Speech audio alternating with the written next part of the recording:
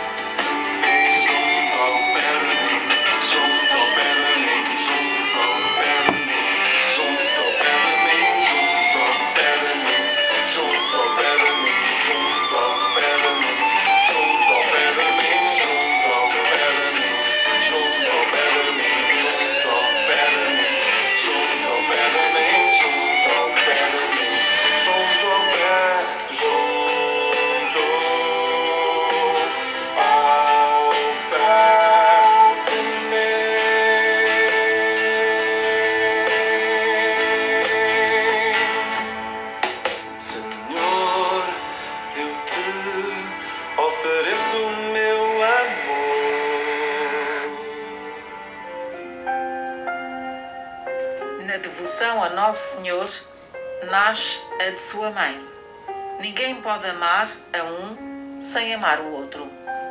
São Francisco de Sales, Rádio Maria Portugal.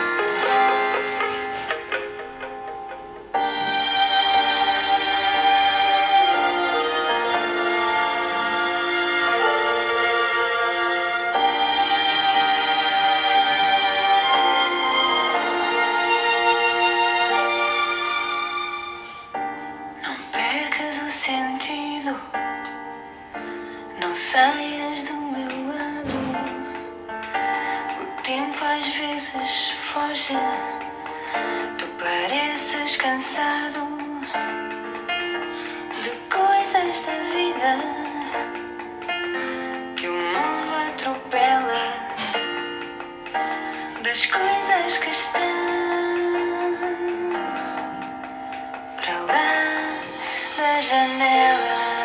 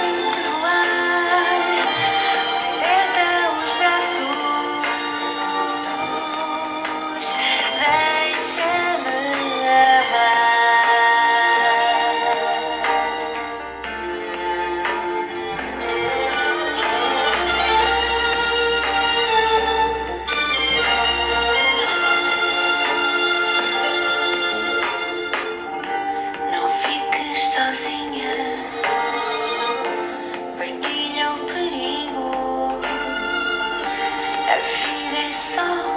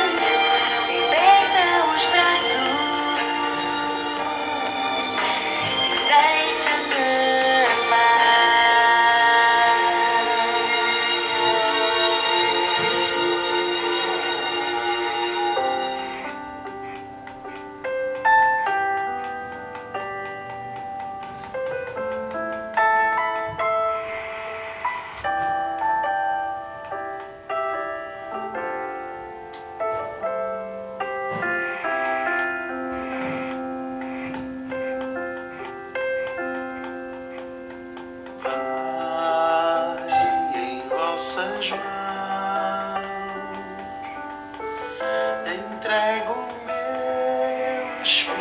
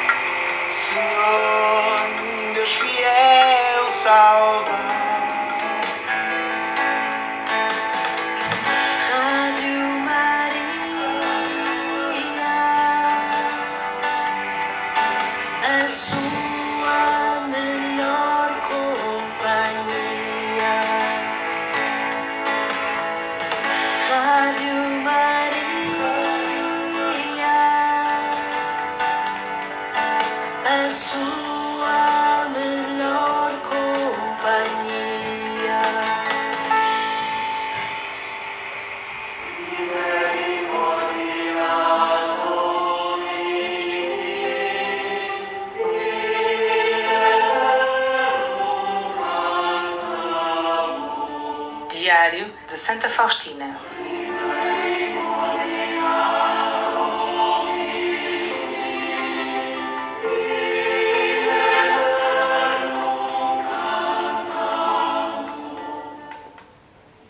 Não havia tempo para pensar. Em vez de contar ao sacerdote as dúvidas que me levantaram em relação a Jesus, contei as tentações que acima estão descritas. O confessor compreendeu logo toda a minha situação e disse-me: A irmã não confia em Nosso Senhor, por ele estar a proceder tão benignamente consigo. Como então, irmã?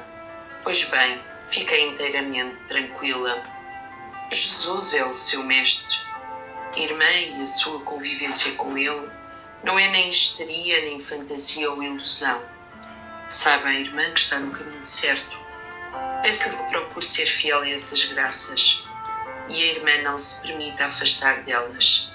Às superiores não necessita de falar dessas graças interiores, a não ser por ordem expressa de Jesus e seria bem melhor aconselhar-se com o confessor.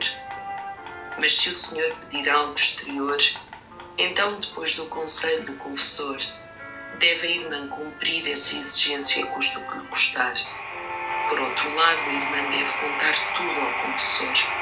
Não existe nenhum outro caminho diferente para si. Roga a irmã por direito fora. espiritual, porque de outra forma desperdiçará esses grandes dons de Deus. Repito-lhe mais uma vez: fique em paz, encontra-se no bom caminho. Não se preocupe com mais nada. Antes seja sempre fiel a Jesus, não se importando com o que os outros possam dizer de si. É justamente com as almas mais miseráveis que o Senhor convive desta maneira muito íntima, e quanto mais a irmã se humilhar, tanto mais Jesus se unirá consigo. Quando me afastei da grade, uma alegria extraordinária inundava-me a alma, e tanto que me dirigi a um lugar isolado no jardim, para as escondidas das irmãs, permitir que o meu coração se derramasse inteiramente em Deus. A sua presença penetrou-me de súbito e por um instante todo o meu nada foi submergido em Deus. Nesse momento senti, ou melhor discerni, as três pessoas divinas que em mim habitavam experimentei na alma uma paz tão grande que eu própria fiquei muito admirada em como pudera ter tido tantas desconfianças.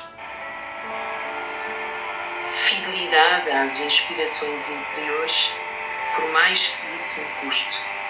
Não fazer nada sozinha, sem me aconselhar com o confessor. De manhã cedo mal acordei, logo todo o meu espírito mergulhava em Deus, nesse oceano de amor. Sentia que estava toda imersa nele. Durante a Santa Missa, o meu amor para com ele atingiu uma maior intensidade. Foi depois da renovação dos votos e da Sagrada Comunhão que de repente vi o Senhor que me disse com doçura: Minha filha, olha para o meu coração misericordioso. Quando fixei o meu olhar nesse sacratíssimo coração, brotaram mesmo aqueles raios que estão na imagem, com sangue e água, e compreendi como é grande a misericórdia do Senhor. E Jesus voltou a dizer-me com bondade: Minha filha, Fala aos sacerdotes da minha insondável misericórdia. As chamas da misericórdia inflamam-me, quer derramá-las sobre as almas. Elas não querem acreditar na minha bondade. De repente, Jesus desapareceu. Durante todo esse dia, o meu espírito manteve-se mergulhado na sensível presença de Deus, apesar de todo o barulho e das conversas que normalmente ocorrem após o retiro. Tudo isso em nada me perturbou. O meu espírito estava imerso em Deus, mesmo que exteriormente participasse nas conversas e até tivesse ido visitar Derby. Começámos hoje a terceira provação.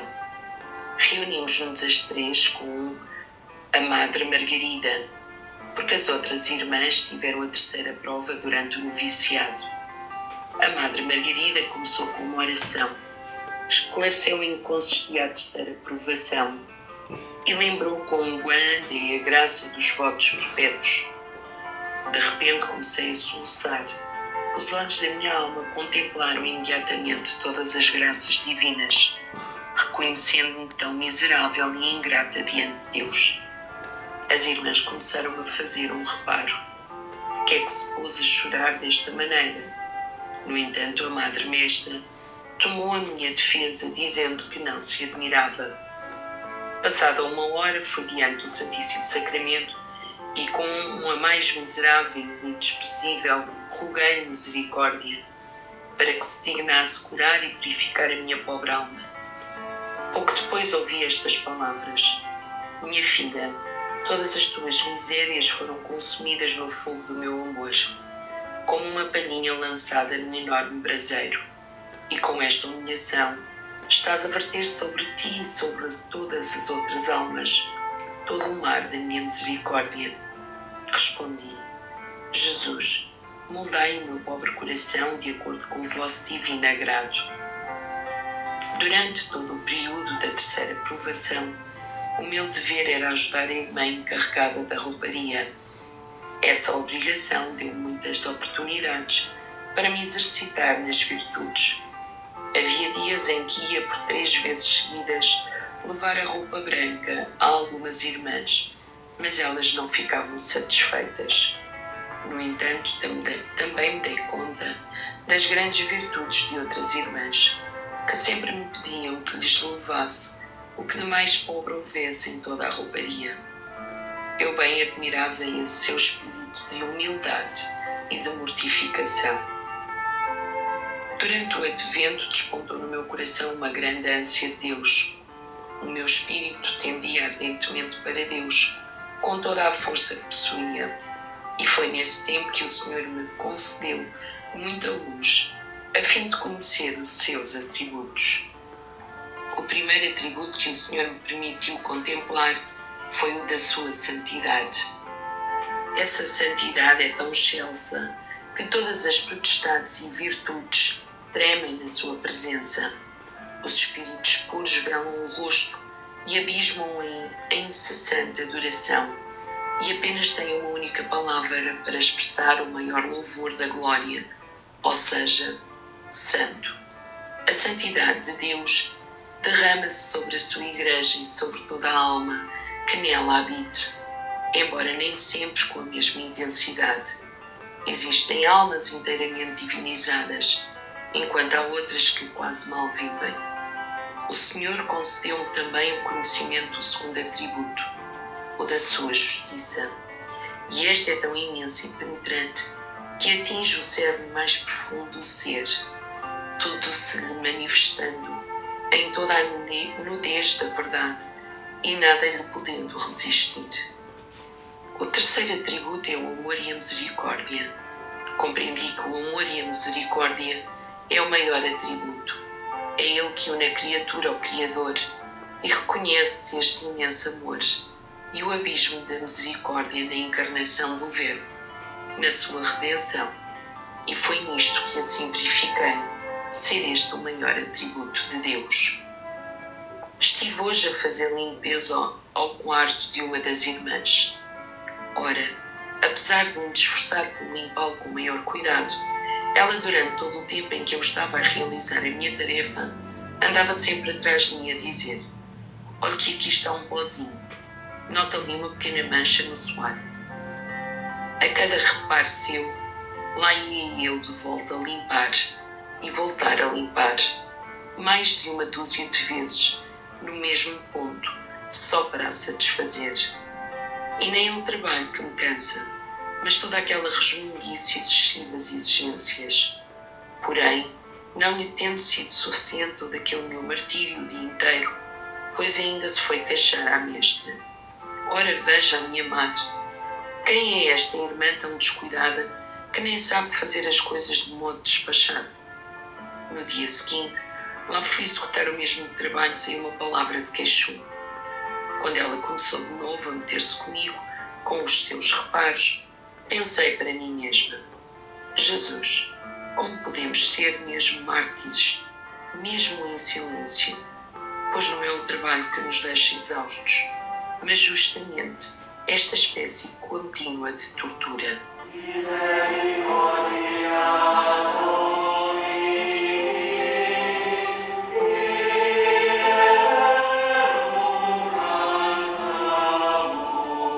Diário de Santa Faustina.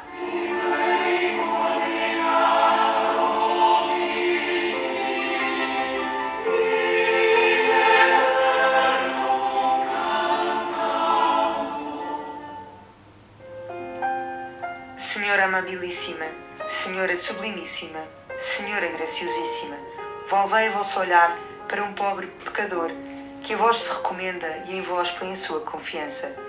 Santo Afonso Maria de Ligório, Rádio Maria, Portugal.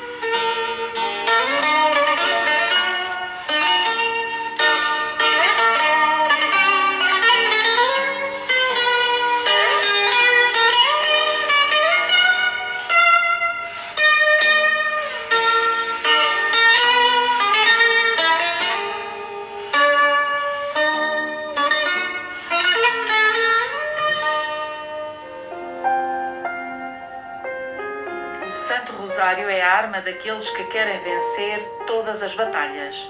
São Pio de Pietralcina, Rádio Maria, Portugal.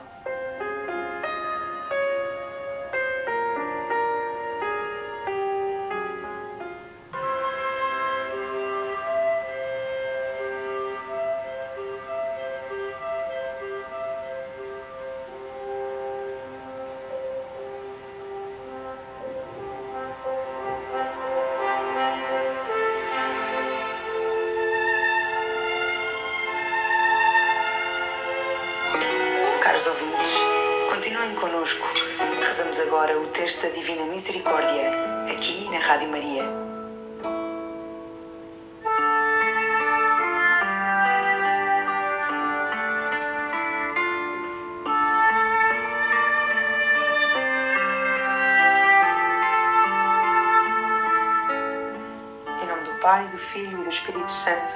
Amém.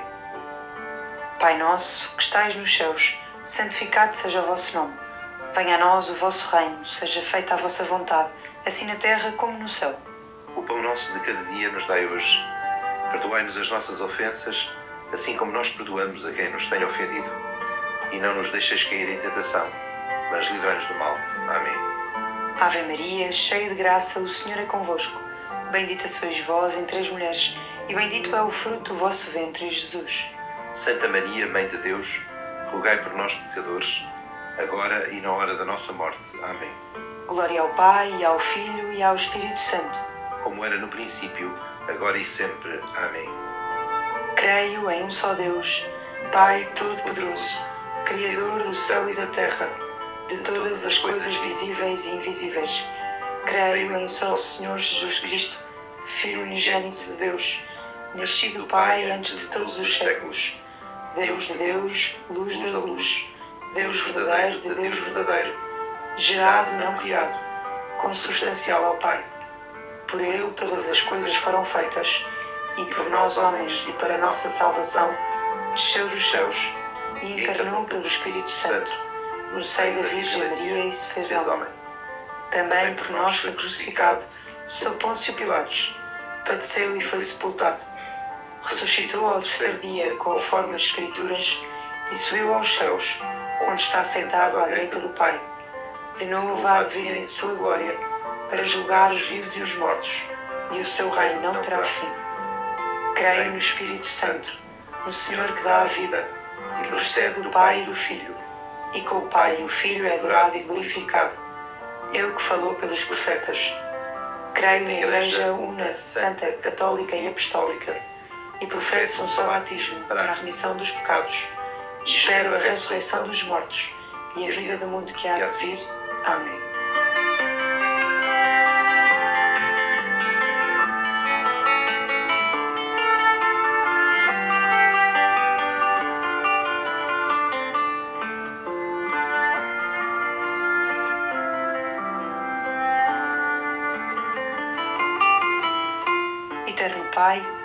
Vos ofereço o corpo e sangue, a alma e divindade do vosso muito amado Filho, nosso Senhor Jesus Cristo.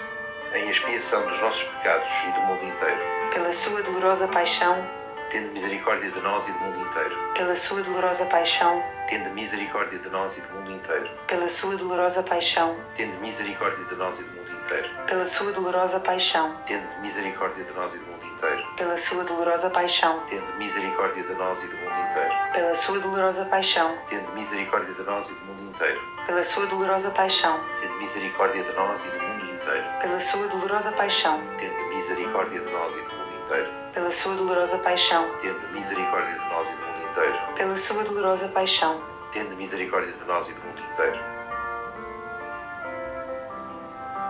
Eterno Pai, eu vos ofereço o corpo e sangue, a alma e divindade do vosso muito amado Filho, nosso Senhor Jesus Cristo. Em expiação dos nossos pecados e do mundo inteiro. Pela sua dolorosa paixão, Tende misericórdia de nós e do mundo inteiro. pela sua dolorosa paixão, Tende misericórdia de nós e do mundo inteiro. pela sua dolorosa paixão, Tende misericórdia de nós e do mundo inteiro. pela sua dolorosa paixão, Tende misericórdia de nós e do mundo inteiro. pela sua dolorosa paixão, Tende misericórdia de nós e do mundo inteiro. pela sua dolorosa paixão, Tende misericórdia de nós e do mundo inteiro. Pela sua dolorosa paixão, Tende misericórdia de nós e do mundo inteiro. pela sua dolorosa paixão, Tende misericórdia de nós e do mundo inteiro. pela sua dolorosa paixão, Tende misericórdia de nós e do mundo inteiro. pela sua dolorosa paixão, Tende misericórdia de nós e do mundo inteiro.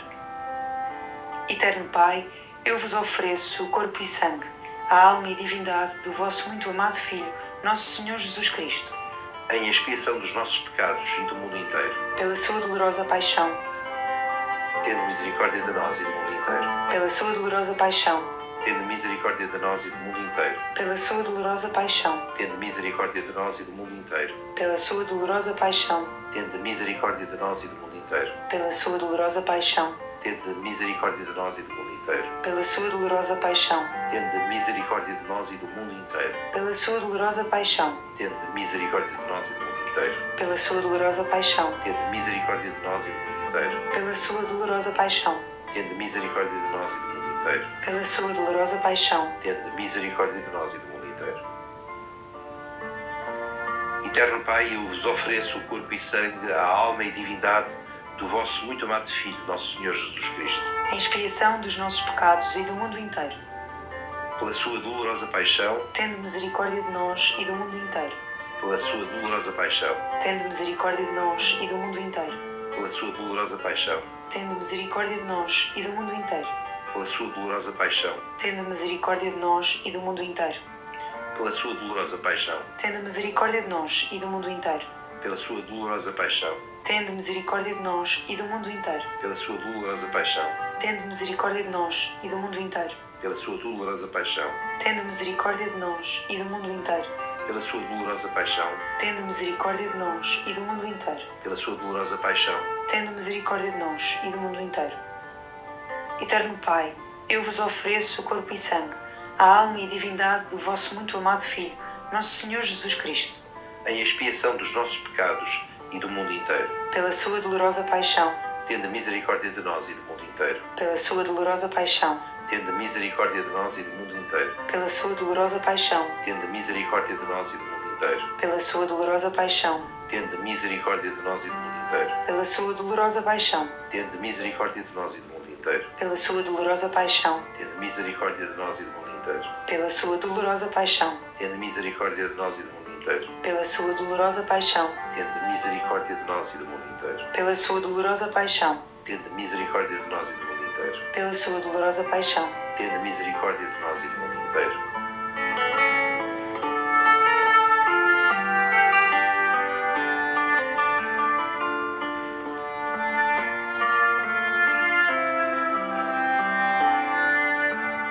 Deus Santo, Deus Forte, Deus Imortal, Tende piedade de nós e do mundo inteiro. Deus Santo, Deus Forte, Deus Imortal, Tende piedade de nós e do mundo inteiro.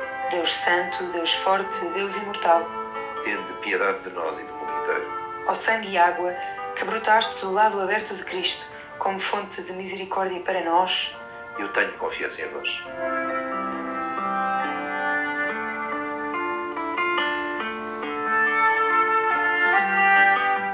Pai, do Filho e do Espírito Santo. Amém.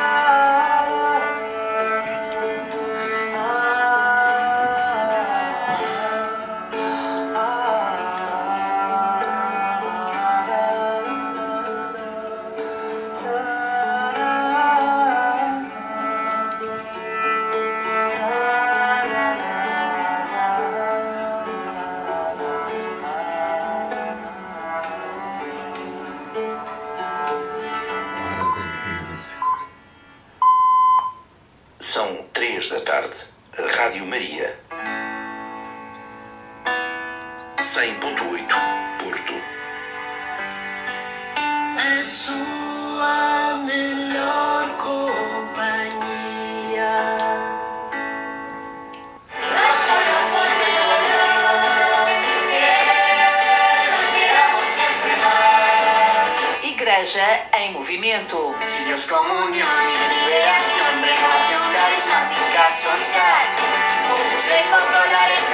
camino in metà. Movimentos da Igreja em Portugal.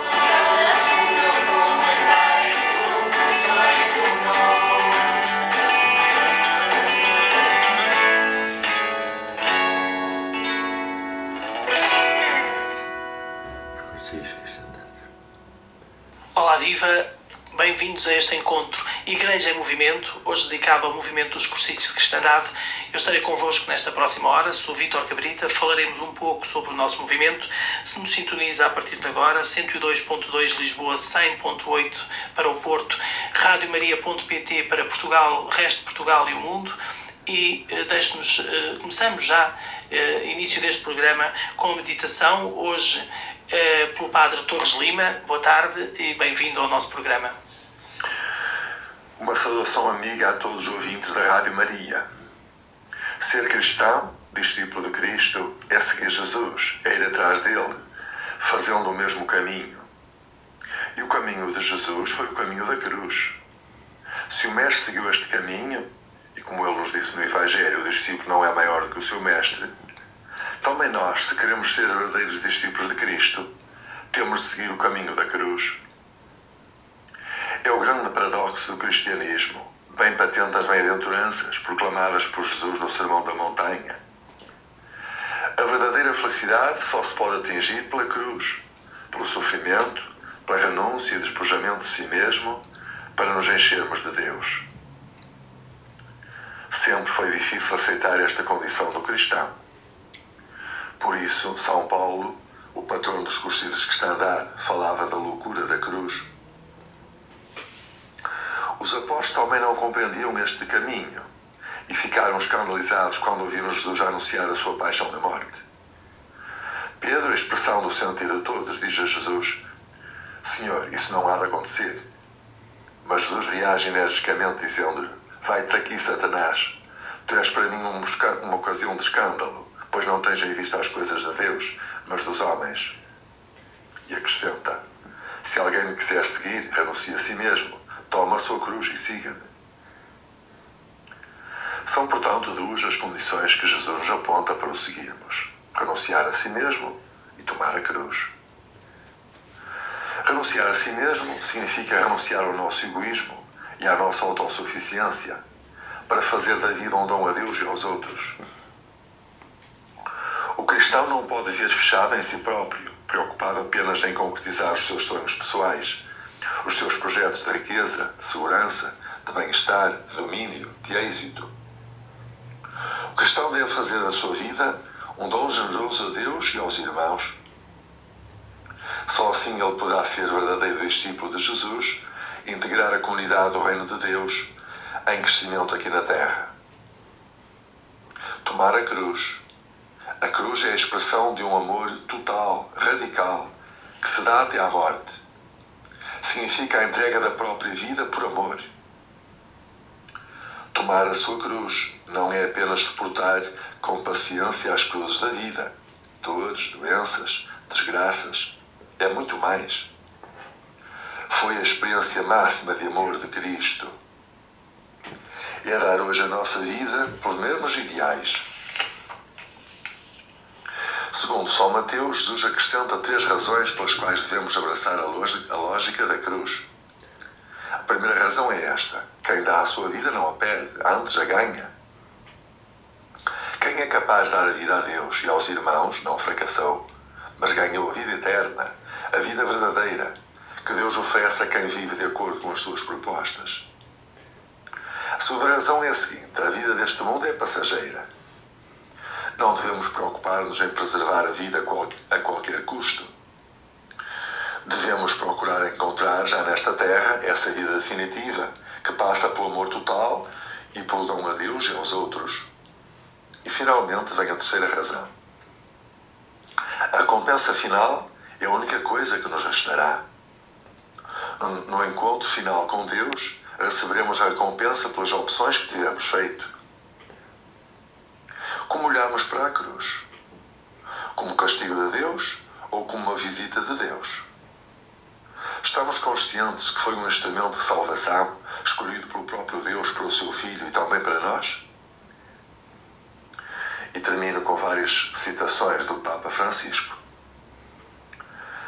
Para Pedro e os apóstolos, mas também para nós, a cruz é um escândalo, enquanto Jesus considera um escândalo fugir da cruz, o que significaria fugir da vontade do Pai, da missão que Ele confiou para a nossa salvação. Jesus aponta o caminho do verdadeiro discípulo, mostrando duas atitudes. A primeira é renunciar a si mesmo, o que não significa uma mudança superficial, mas uma conversão, uma inversão de valores. Outra atitude é tomar a própria cruz. Não se trata apenas de suportar pacientemente as tribulações diárias, mas de carregar com fé e responsabilidade aquela parte do esforço e do sofrimento que a luta contra o mal implica. A cruz é sinal sagrado do amor de Deus e do sacrifício de Jesus, e não deve ser reduzida a um objeto de superstição ou a uma joia ornamental. Façamos com que a cruz pendurada na parede de casa, ou a pequena que usamos ao pescoço, seja um sinal do nosso desejo de nos unirmos a Cristo, ao serviço dos nossos irmãos, com amor, especialmente dos pequenos e mais frágeis. Todas as vezes que fixamos o olhar na, imagem de Cristo crucificado, pensamos que Ele, como verdadeiro servo do Senhor, cumpriu a sua missão, dando a vida, derramando o seu sangue para a remissão dos pecados. Se quisermos ser seus discípulos, somos chamados a imitá-lo, entregando a nossa vida sem reservas, por amor a Deus e ao próximo. Um abraço amigo em Decolores para todos os ouvintes da Rádio Maria. Obrigado, Padre Torres Lima, eh, por esta meditação, por esta reflexão que nos deixa hoje. Eh, e é tempo já, o primeiro tempo musical é agora, eh, e começamos com o hino do nosso movimento Decolores.